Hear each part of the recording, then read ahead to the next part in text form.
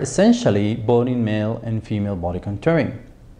In female body contouring, we're going to study and learn new techniques in excisional body contouring, especially mini and full lipoabdominoplasty with definition.